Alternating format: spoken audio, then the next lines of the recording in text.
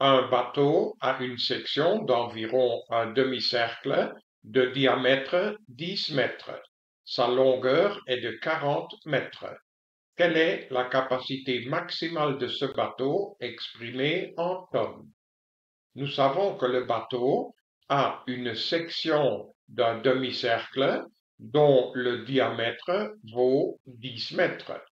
Et par conséquent, cette hauteur petit h c'est-à-dire le rayon de ce demi-cercle, vaut 5 mètres. La longueur grand L du bateau vaut 40 mètres. Comme le liquide déplacé est de l'eau, nous savons que la masse volumique du liquide déplacé vaut 1000 kg par mètre au cube.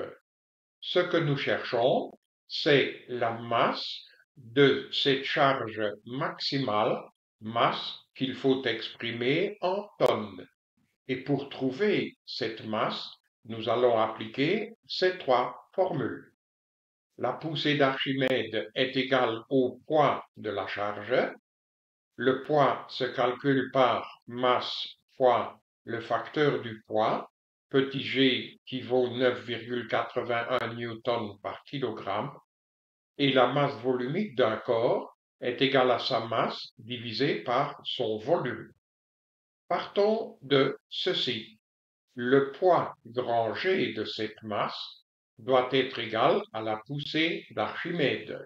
Et comme un poids se calcule par m fois petit g, nous en déduisons que m fois petit g est égal à la masse du liquide déplacé fois petit g.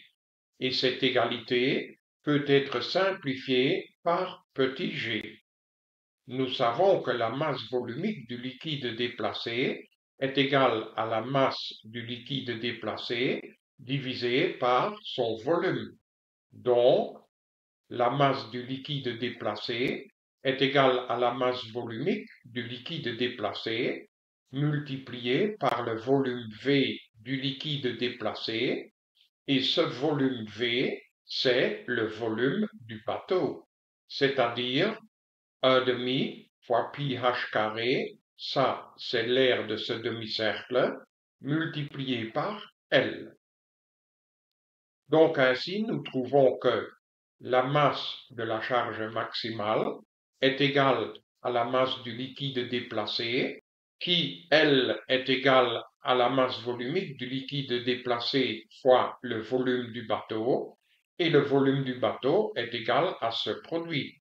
Et par conséquent, la masse de la charge maximale est égale à la masse volumique du liquide déplacé fois 1 demi fois pi fois h carré fois L, et en remplaçant ces grandeurs par les valeurs connues, nous trouvons ce produit-là. Produit qui donne comme réponse 1 570 796,327 kg.